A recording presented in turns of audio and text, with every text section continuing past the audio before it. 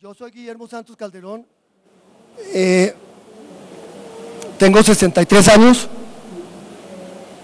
Eh, trabajé en el tiempo hasta el 2010, abril 30 del 2010 me retiré. Y, y hoy en día, pues, como lo vamos a ver más adelante, tengo algunas cosas, estoy dedicado totalmente a la tecnología. Entonces, un minuto. ¿Qué- qué- ¿Usted me oprime? Esa es mi familia. Estoy felizmente casado, llevo 30 años. Tengo tres hijos, tengo seis hermanos. Esa es mi familia. Cumplí hace poquito. Ese soy yo.